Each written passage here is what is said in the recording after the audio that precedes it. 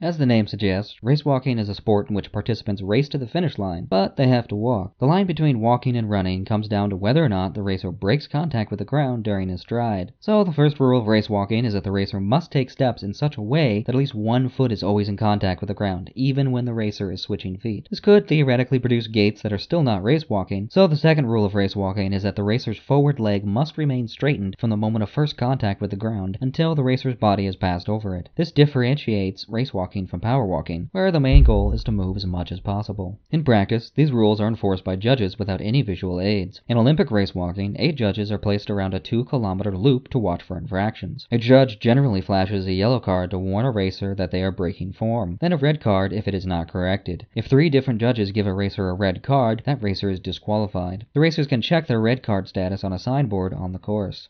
Early walking competitions were more about spectacle than rules or form. In the 16th and 17th centuries, long distance walking competitions began to gain popularity in Europe, with individuals making wagers that they could walk hundreds of miles over the course of several days. Eventually, noblemen began scheduling walking races between their footmen, who were well trained from walking alongside the nobleman's carriage during travel. By the mid 18th century, a sport called pedestrianism introduced regulations to those walking competitions and quickly gained popularity in Europe and the United States. The competitors would walk for six days, covering 600 miles, and only stopping for short naps inside the track. Crowds would gather with brass bands and food vendors to watch the races and place bets on the outcome. Pedestrianism morphed into modern race walking, which was introduced as an Olympic sport in 1904. Today, the Summer Olympics includes a 20 kilometer race for both men and women and a 50 kilometer race for men. Despite its historical popularity, modern race walking is generally only on the public's mind every four years, when it is often the butt of jokes. The swiveling gait of the racers intended to propel the leg forward often attracts ridicule. Other controversies revolve around high speed photography or slow motion cameras catching racers breaking contact with the ground. However, the rules of race walking state that infractions minor enough or quick enough that they cannot be seen by the unaided human eye are in fact allowed. The relatively large number of disqualifications in Olympic race walking events is also a matter of contention, especially as disqualifications can occur in the final moments of a race leading to a confusion over who has won. Regardless, race walking remains a mainstay of the Summer Olympics, with elite athletes performing on par with world class runners. Providing a unique combination of technique and endurance, race walking has a small but devoted following, and is unlikely to leave the world stage anytime soon.